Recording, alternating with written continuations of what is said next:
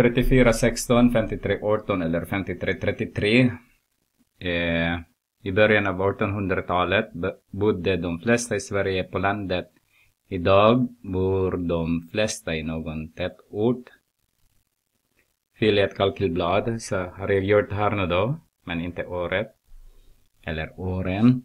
Gör ett lämpligt diagram som visar förändringen över tid i såväl tätort och glesbygd.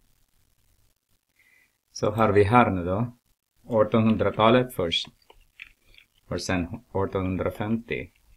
Så ni kan göra är välja de två, sen ta den här, den där punkten där och dra den. Så ser ni att den ändras. Så ni behöver inte skriva allting. Sen väljer ni det. Så ser vi infoga och sen den här gången kanske väljer vi vad de rekommenderar till oss. Och det här är det bästa de kan rekommendera. Eller kan ni se här också, det är okej. Okay. Den här är också okej. Okay. Den här är väldigt bra. Alltså, den här tätort. Om ni väljer den här.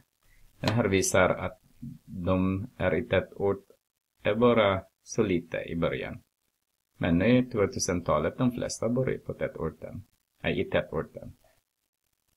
Och det är tvärtom här för de som bor i landsbygden. Om ni väljer den så det går bra också. Eh, infogat. Rekommenderar det. Den här också är jättebra. Den.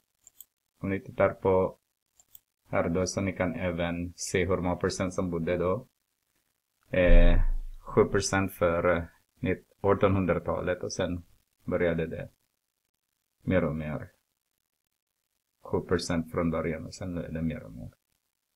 Mm, vi skulle kunna välja den här. Sen man ser den här. Diagram, uh, äh, rubrik kan du ändra hela tiden. Klicka den bara och sen ändra vad du vill. Om du gör en rapport till exempel. Mm.